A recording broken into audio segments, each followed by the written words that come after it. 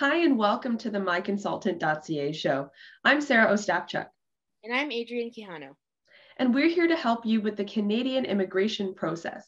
This show is designed to be a brief way to inform you on Canadian immigration news headlines, immigration policy and program concepts, and introduce you to industry experts.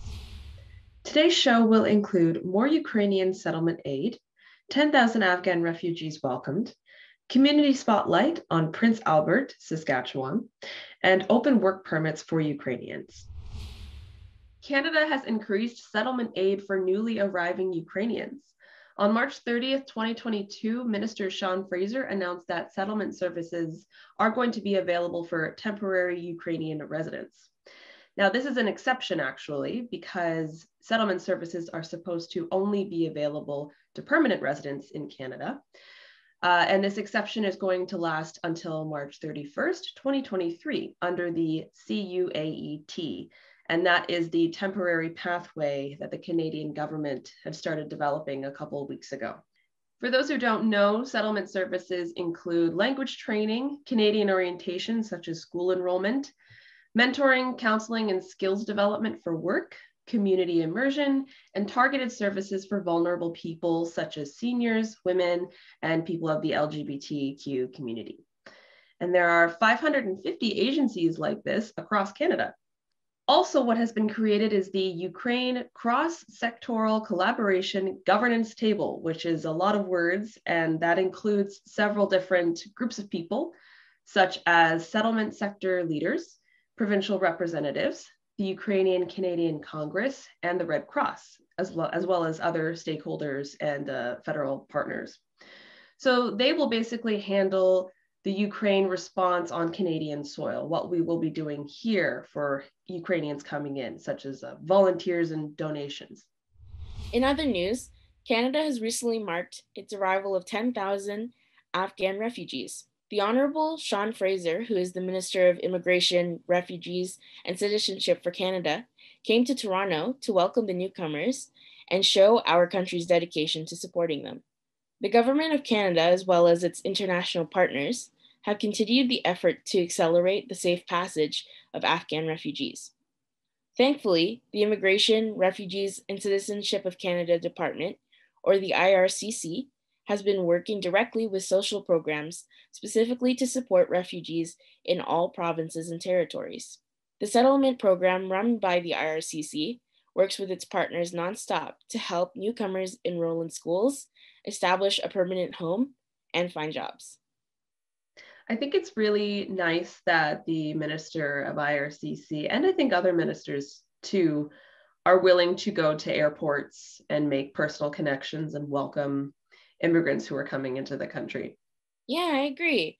And on, on a personal note, when my dad moved to Canada in the 90s, uh, his group of folks that came into the country were also welcomed by the Minister of Immigration then.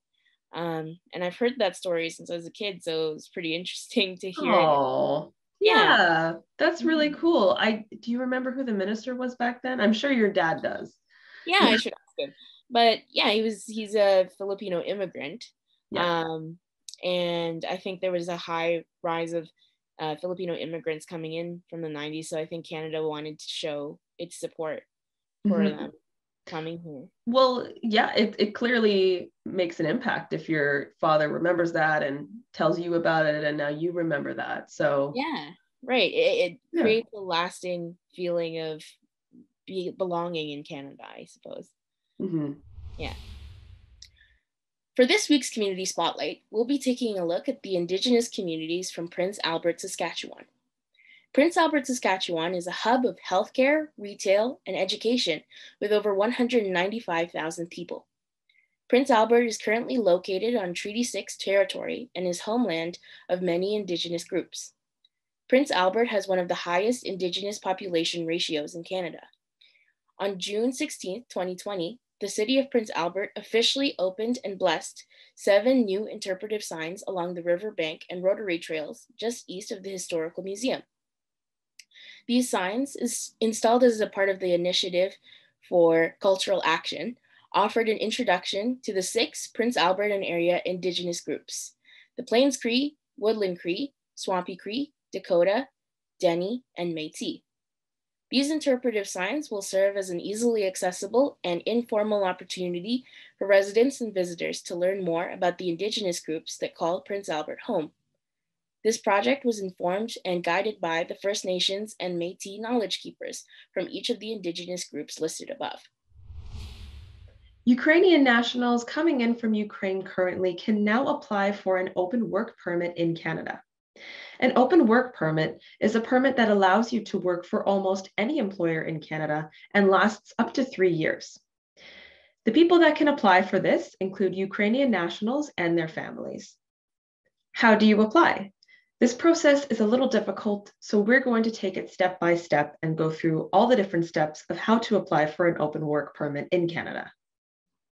One, obtain a visitor's visa, such as the new CUAET which is Canada Ukraine Authorization for Emergency Travel.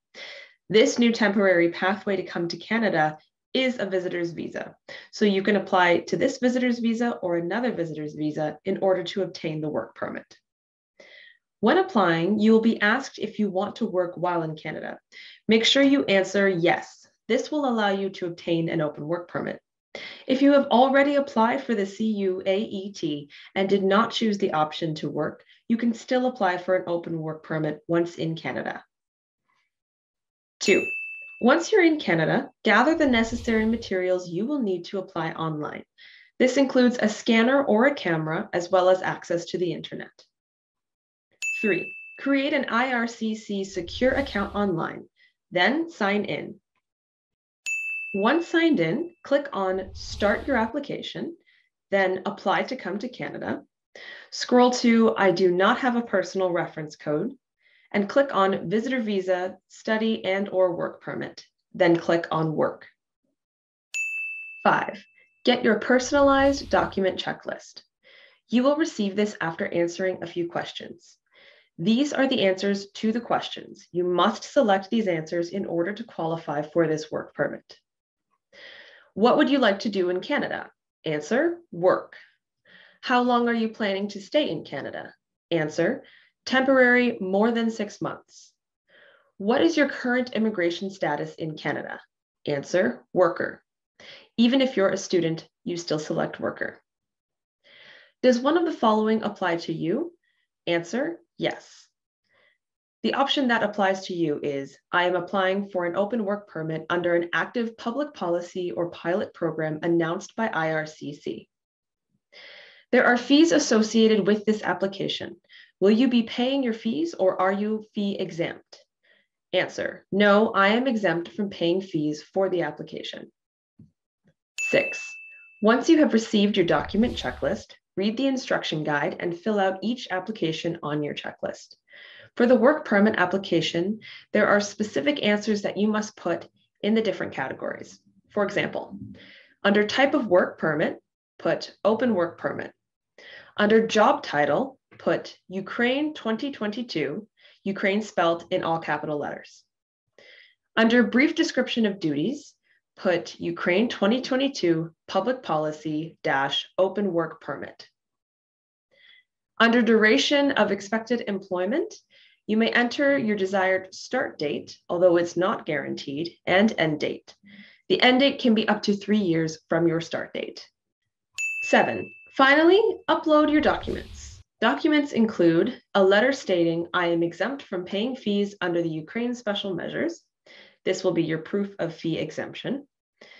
A passport or travel document, a digital photo, and the family information form, which is known as IMM 5707.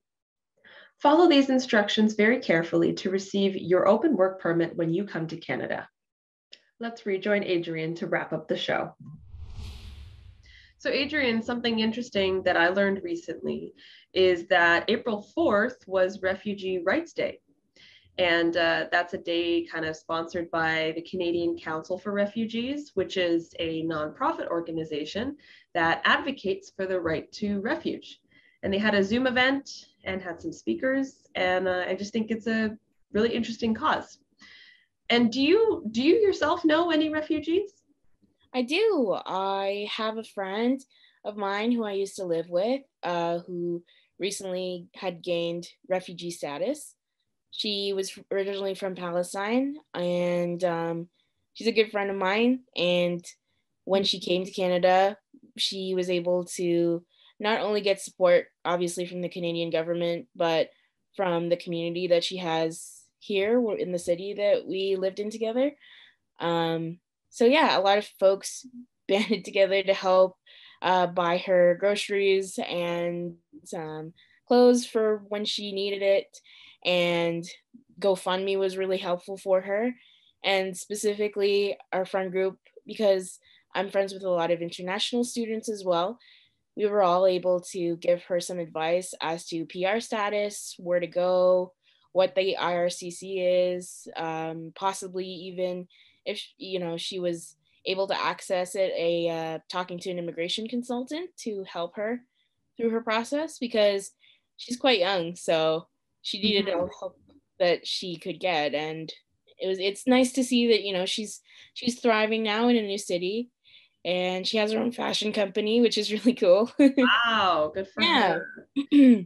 yeah, I think um, you could probably speak to the fact that getting refugee status and that whole process is not easy. And definitely not. Yeah. Mm-hmm. Um, obviously, everyone who comes into the country as a refugee has different circumstances. Um, and I think what helped her the most was having uh, a community around her um, to provide her information that maybe she didn't know where to even find. I think that probably is just an example of why an organization like the Canadian Council for Refugees exists because Canada is a great country for this reason. We are lucky to live here in a country that is world renowned for the amount of refugees that we take in. Mm-hmm. But even that number is still quite small, and there are lots of people who don't receive refugee status who truly do need it. Right. Well, that's all for today. Thank you for joining us this week. Be sure to click the bell icon and subscribe to the My Consultant channel. For more information about the topics covered in this show, please visit myconsultant.ca, where you can contact an authorized immigration and citizenship consultant. I'm Adrienne Quijano. And I'm Sarah Ostapchuk. And we'll see you next week. Bye.